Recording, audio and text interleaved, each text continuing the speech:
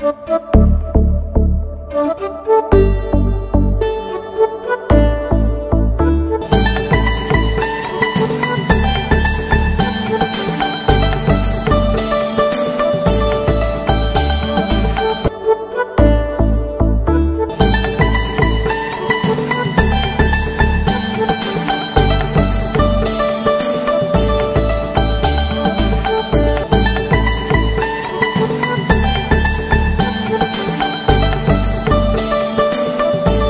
எல்லாருக்கும் வணக்கம்.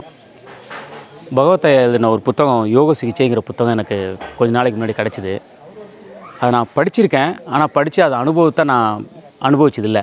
ஸோ எனக்கு ஒரு ரெண்டு மாதத்துக்கு முன்னாடி என்ன ஆச்சு அப்படின்னா கையில் வந்து ஒரு ஆக்சிடெண்ட் ஆச்சு. ஸோ அந்த ஆக்சிடெண்ட்டு ஆன உடனே எனக்குள்ள ஒரு உணர்வு வந்துச்சு இந்த புத்தகத்தை படிக்கணும் இந்த புத்தகத்துலேருந்து இருக்கக்கூடிய உண்மையை புரிஞ்சுக்கணும் அப்படிங்கிறதுக்காக. நான் படிக்கும்போது புரிஞ்சுக்கிட்ட உண்மைகளை நான் இப்போ நான் ஷேர் பண்ணுறேன் எனக்கு அந்த இந்த கையில் தான் அடிபட்டிருந்தது ஸோ இந்த கை வந்து இப்போது 90% பர்சன்டேஜ் நார்மல் நிலைமைக்கு நான் வந்துட்டேன். அதுக்கு என்ன காரணம் அப்படின்னா ஐயா அந்த சொன்ன அந்த யோக சிகிச்சையை நான் பயன்படுத்துறதுனால ஏற்பட்ட விளைவு தான் இது.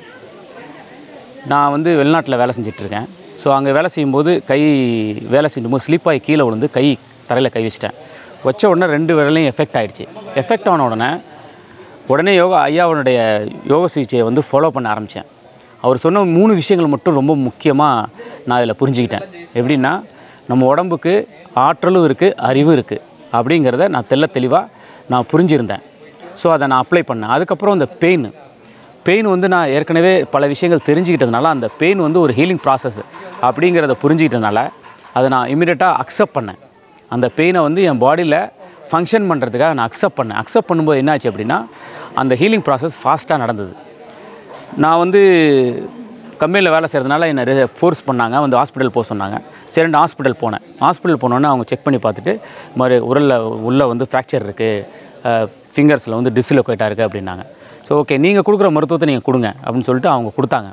மூணு வாரம் கொடுத்தாங்க. ஸோ அந்த மூணு வாரத்தில் என்ன ஆச்சுன்னா அந்த ஹீலிங் ப்ராசஸ் வந்து ஸ்லோவாக தான் இருந்துச்சு. ஏன்னா கையில் கட்டு போட்டாங்க. அந்த கட்டு போட்டு பிரித்ததுக்கப்புறம் வித்தின் ஒன் வீக்கில் அந்த ஹீலிங் ப்ராசஸ் அவ்வளோ ஃபாஸ்ட் நடந்துச்சு.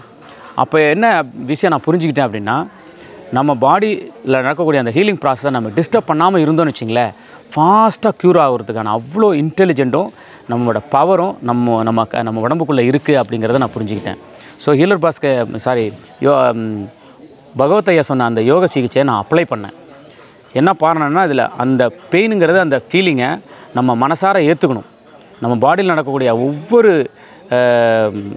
பெயின் ப்ளஸ் உபாதைகள்லாம் நம்ம சொல்லிகிட்ருக்கோம் இருக்கோம் ஆனால் எல்லாமே அது ஒரு ஹீலிங் ப்ராசஸ் தான் அப்படிங்கிறத நான் இந்த யோக சிகிச்சை மூலமாக தெரிஞ்சுக்கிட்டேன். இது எல்லாருமே தெரிஞ்சுக்கிட்டு இந்த யோக சிகிச்சையை வந்து அப்ளை பண்ணணும்னு நான் கேட்டுக்கிறேன். ஸோ இதில் இன்னொரு விஷயம் முக்கியமான விஷயம் என்ன அப்படின்னா எல்லாருக்குமே இது ஒர்க் ஆகுமா அப்படின்னா அது எல்லாருக்குமே ஒர்க் ஆகாது. யாருக்கு இந்த கோராக வந்து அந்த ஃபண்டமெண்டலாக அந்த நம்ம பாடியில் இன்டெலிஜென்ட் இருக்குது அப்படின்னு புரிதல் உள்ளவங்களுக்கு மட்டும்தான் நல்ல வேகமாக வேலை செய்யுது. எனக்கு இருந்ததுனால வேகமாக வேலை செஞ்சுது. இல்லாதவங்களுக்கு கொஞ்சம் ஸ்லோவாக தான் எஃபெக்ட் இருக்கும். ஆனால் உண்மையிலே நம்ம ஆணித்தனமாக நம்ம அந்த விஷயத்தை நம்ம எடுத்து கிரகிச்சிட்டோம் அப்படின்னாக்கா அதுக்கு மேலே எதுவுமே தேவையில்லை. நம்ம பாடி வந்து நேச்சுரலாக ஃபாஸ்ட்டாக ஹீல் பண்ண ஆரம்பிச்சிடும் இதுதான் என்னுடைய செய்தி.